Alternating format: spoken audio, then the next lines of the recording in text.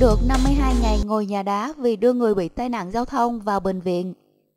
Mấy hôm nay, trên nhiều báo, vụ việc về nam học sinh Đỗ Quang Thiện bị xe đập chủng vào tận trường áp giải và bắt phải chịu tù giam vì liên quan đến vụ tai nạn giao thông đang khiến dư luận rất chú ý. Cách đây 5 năm, trưa ngày 20 tháng 9 năm 2012 tại một giao lộ nội thành Buôn Ma Thuột xảy ra một vụ va quẹt giữa hai xe máy khiến một người đàn ông lớn tuổi và một nam sinh trung học cùng ngã xuống đường. Thấy người lớn tuổi nồng nặc mùi bia rượu nằm im không dậy được, đưa nạn nhân vào bệnh viện đa khoa tỉnh Đắk Lắk. Theo lời khai của nam sinh tên Thiện thì em không hề đụng chạm nạn nhân mà nạn nhân tự ngã vào em. Các kết quả xét nghiệm thương tích sau đó của cơ quan y tế đã chứng minh lời thiện nói là đúng, bệnh nhân không có tổn thương gì bên ngoài cơ thể mà do đột quỵ liệt nửa người bên trái, do xuất huyết vùng bao trong bán cầu não phải. Đây là bệnh lý nội khoa. Khi vụ việc ra đến tòa án ngày 26 tháng 9 năm 2013, Bệnh viện tỉnh Đắk Lắk đã có công văn 696 gửi đến Viện Kiểm sát Nhân dân khẳng định đây là bệnh nội khoa không liên quan gì đến tai nạn giao thông, có thể đột quỵ xuất hiện làm cho bệnh nhân té xe trùng với thời điểm va chạm khi đang lưu thông trên đường. Nhưng công văn này đã bị Viện Kiểm sát bỏ qua và khi vụ việc đưa ra tòa, tòa án chỉ căn cứ vào biên bản kết luận pháp y thương tích, chỉ có giá trị tạm thời trong 3 tháng, từ chỗ ban đầu xét xử thiện 4 tháng tù treo, khi gia đình em tiếp tục kêu oan, tòa án đã xử thiện 9 tháng tù giam. Và ngày 2 tháng 4 năm 2015, cơ quan thi hành án đã đưa cả xe đặc chủng đến trường Trung học phổ thông Buôn Ma Thuột để áp giải em Thiện ngay giữa buổi học lên xe tù. Thiện những ngày còn trong tù và lá đơn kiến nghị xin hoãn thi hành án của bạn bè cùng lớp các phóng viên của báo đã kiên trì theo đuổi sự việc và tìm ra công văn 696 đã bị cán bộ viện kiểm sát bỏ quên, trong khi gia đình em Thiện đã kêu oan suốt 3 năm nay. Đến khi sự việc bị phát giác, cán bộ của viện kiểm sát đã sang xin bệnh viện cấp lại công văn này với lý do là công văn cũ bị thất lạc. Dư luận bức xúc, giám đốc công an tỉnh đã có công văn đề nghị cho Thiện được tại ngoại để thi tốt nghiệp, nhưng đại diện tòa án tỉnh quyết không chấp nhận sau nhiều bài báo theo đuổi sự việc, lúc 10 giờ 5 phút sáng ngày 24 tháng 5, Thiện đã được hai cơ quan công an và tòa án thành phố Buôn Ma Thuột thi hành quyết định tạm đình chỉ thi hành án của tòa án nhân dân tối cao. Thiện trở về sau 52 ngày chịu án tù trong trại giam tỉnh Đắk Lắk. Nhà báo Hoàng Thiên Nga, phóng viên báo Tiền Phong, người đã theo đuổi vụ việc mà tìm lại công lý cho Thiện viết trên mạng xã hội. Trưa nay hỏi Thiện, mai mốt đi trên đường lỡ gặp một ông đột quỵ nữa, cháu có đưa ông ấy đi bệnh viện nữa không? Thiện bảo, cháu sẽ vẫn thế cô à. Thiện đã có thể bỏ đi khi nạn nhân đột quỵ ngã vào xe em, vì em không có lỗi, nhưng Thiện đã không rời khỏi hiện trường, em ở lại, gọi xe đưa nạn nhân vào viện và hàng loạt những tai bay vả gió đã xảy đến với em. Gia đình Thiện lao đao, cha mẹ mất ăn mất ngủ từ khi con bị bắt giam vào tù. Thiện có nguy cơ bị đứt gãy đường học tập nếu báo chí và dư luận xã hội không vào cuộc. Nhưng nguyên nhân là do đâu? Vì đâu mà cái công văn của bệnh viện giải oan cho Thiện lại bị thất lạc trong suốt gần 2 năm để em vào vòng oan trái?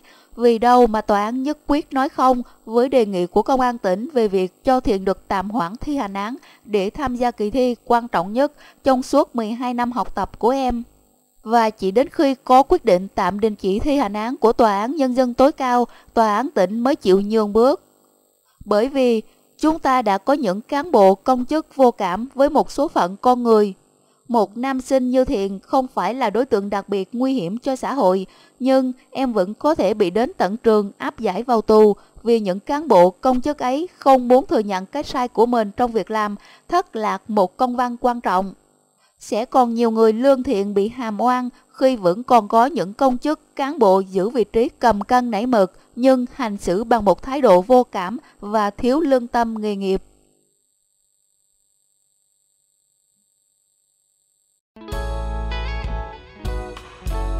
Người bắt trộm ở Tây Ninh bị 12 tháng tù treo. Sau khi nghe tòa phúc thẩm tuyên 12 tháng tù treo, bị cáo người bắt trộm nói nếu tòa tuyên như vậy thì kẻ trộm sẽ lộng hành còn ai dám bắt trộm nữa. Chiều 25 tháng 9, Tòa án Nhân dân tỉnh Tây Ninh mở phiên tòa phúc thẩm đối với bị cáo Nguyễn Ngọc Ánh, 63 tuổi, ngụ phường Ninh Sơn, thành phố Tây Ninh. Trước đó, Tòa án Nhân dân thành phố Tây Ninh đã tuyên phạt ông Ánh 12 tháng tù treo về tội cố ý gây thương tích trong tình trạng tinh thần bị kích động mạnh. Ông Ánh kháng cáo vì cho rằng mình bị oan. Những lời khai mâu thuẫn Tại phiên tòa phúc thẩm, người bị hại trong vụ án tức là kẻ trộm Tạ Công Trung 23 tuổi, người làm chứng là Lê Minh Thành 21 tuổi, cùng ngụ phường Ninh Sơn, thành phố Tây Ninh đều vắng mặt. Trước đó khi làm việc với công an, Trung và Thành đều có những lời khai mâu thuẫn với nhau. Trung khai khi trộm gà bị phát hiện thì bỏ chạy đến bức tường định leo tẩu thoát thì bị ông Ánh dùng chĩa đâm một cái vào mông trái. Khi cố ý chạy thì bị đâm thêm một nhát vào bụng, dính chĩa vào người. Khi đó Trung bám vào hàng rào la cầu cứu thì được Thành đỡ qua hàng rào. Đi được khoảng 20 mét, Trung rút mũi chĩa ra khỏi bụng rồi ngất, được Thành đưa đi cấp cứu. Nhưng tại một bản ghi lời khai khác, Trung khai lúc bị phát hiện thì bỏ gà lại, chạy đến bức tường định leo qua hàng rào thì bị ông Ánh đâm một cái vào bụng. Ông Ánh nắm thắt lưng lôi xuống té ngửa, rồi dùng cây chĩa đâm một phát vào bụng, dính cây sắt trên người. Sau đó Trung bám qua hàng rào thì được Thành đỡ đưa đi cấp cứu. Người làm chứng Thành cũng có sự mâu thuẫn. Ban đầu Thành khai thấy Trung ôm hai con gà, phía sau có một người đàn ông cầm cây dài, nên anh ta la, ông kìa, Trung bỏ gà leo lên tường thì bị ông Ánh đâm trúng vào mông. Lúc này Trung có leo qua hàng rào bị đâm trúng bụng, dính cây sắt vào người. Tuy nhiên, trong bản đối chất thì Thành lại khai thấy ông Ánh đuổi theo, dùng chĩa đâm Trung một cái vào mông thì anh thuộc đầu qua hàng rào. Thấy Trung la lớn, anh trèo lên tường đỡ Trung qua hàng rào rồi vào bệnh viện cấp cứu. Thành không thấy cây chĩa dính vào bụng Trung và cũng không xác định hàng vết thương ở bụng của Trung bị khi nào đâm từ bụng lên nhưng vết thương từ ngực xuống. Tại phiên tòa phúc thẩm, ông Ánh vẫn khẳng định mình chỉ đâm mũi chĩa trúng vào mông tên trộm. Ông Ánh không thừa nhận nội dung cáo trạng truy tố gây thương tích trên bụng cho người bị hại đến 73%. Hàng rào sắt của gia đình có gắn trong nhọn gần giống mũi chĩa nên khi người bị hại trèo ra ngoài, có thể mũi trong này đã gây thương tích cho người bị hại, bị cáo Ánh khai. Theo bị cáo Ánh, sau khi tên trộm chạy thoát, ông tiếp tục truy tìm thì mới phát hiện người này đang nằm bệnh viện nên báo cho công an xử lý. Bị cáo chỉ nghĩ mình đến công an báo án để xử lý tên trộm, nhưng sau đó công an truy tố và cho rằng tôi đến công an báo án trở thành tình tiết tôi đầu thú. Bào chữa cho bị cáo, luật sư Đinh Thái Hoàng đưa ra nhiều tình tiết chứng minh lời khai của Chung có nhiều mâu thuẫn với lời khai của bị cáo và người làm chứng biên bản khám nghiệm hiện trường, biên bản thực nghiệm điều tra cũng không đủ căn cứ xác định bị cáo Ánh gây ra vết thương ở bụng. Các vết thương trên cơ thể của người bị hại không giống nhau và cơ quan chức năng vẫn không làm rõ hung khí gây ra. Kết luận giám định không xác định được cơ chế hình thành vết thương, nhưng vẫn kết tội bị cáo là chưa đủ căn cứ. Ngoài ra, luật sư cho rằng bức tường có hàng rào sắt mũi nhọn giao cách mặt đất 2,3 mét, ông Ánh cầm cây chĩa chạy trượt té, mũi chĩa đâm vào mông của tên trộm. Khi kẻ trộm leo lên thanh sắt ngang phía dưới hàng rào cao thì sẽ cách mặt đất 2,78 mét, bị ông Ánh đứng phía dưới không thể đâm trúng bụng kẻ trộm, mà nếu trúng thì vết thương phải có hướng từ dưới bụng xỉa lên ngực. Đằng này, vết thương nặng nhất ở phần bụng lại có hướng từ trên phần ngực xuống Vậy thì không thể nói rằng vết thương này là do bị cáo Ánh gây ra, từ đó luật sư đề nghị hội đồng xét xử tuyên bị cáo Ánh vô tội.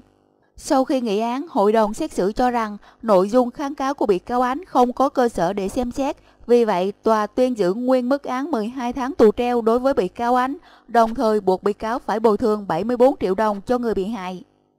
Sau khi nghe tòa tuyên án, ông Ánh cho rằng tòa cấp phúc thẩm tỉnh Tây Ninh tuyên như vậy là oan, gây thiệt hại cho bản thân và gia đình tôi.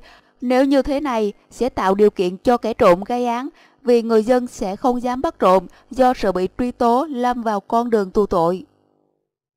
Bắt trộm báo án nhưng bị xử hình sự theo án sơ thẩm, tối ngày 1 tháng 8 năm 2015, Trung và Thành rủ nhau vào nhà ông Ánh trộm gà. Lúc này, Thành đứng ở ngoài canh chừng, còn Trung leo tường rào vào trộm.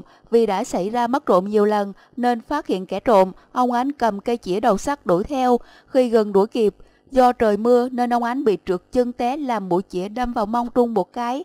Trung tiếp tục bỏ chạy, leo lên tường rào để trèo ra ngoài.